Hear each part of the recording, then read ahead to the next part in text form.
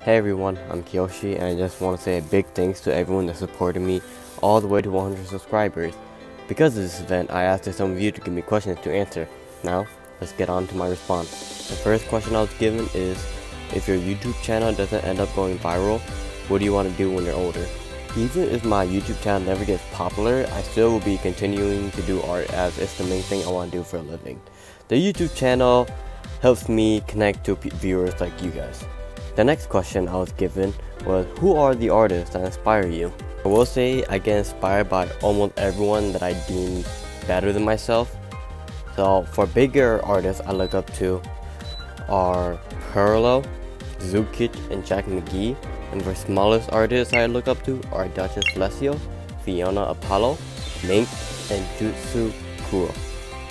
Now there are way more than I just mentioned here, but these are just a few. I like these artists either for their able to design characters, their ability to color, or they just have a really nice art style. For my third question I was given, it says, if you're a comic writer or comic artist, what genre would you like to make the most? Currently, I'm not working on any comics, but if I ever would, I'll either do romance or horror. Romance because I kind of enjoy reading romance manga, and horror because I like the idea of scaring others, although I'm not a big fan of getting scared myself. Question 4 was, any advice for growing YouTubers? I'm still small myself, so I really don't have much experience, but from what I could tell, here's something I could tell you, sure.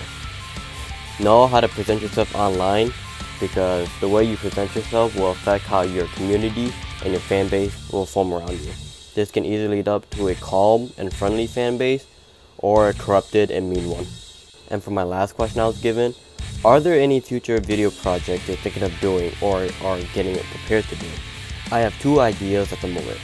The first idea is where I fuse characters from different shows, animes, or games into one character. The next idea is where I get people to give me their OCs and I draw their OCs more corrupted and more monster-like. I'm still debating on which one I'm planning on doing, I'm not sure if I'm to do both or just one. You guys can comment down below to see which one you guys would prefer to watch. For all the previous questions I was given in the previous video. Now, if you guys still want to ask me a question, feel free to leave it down in the comment and I'll be there to answer it. So, thank you for watching and stay safe.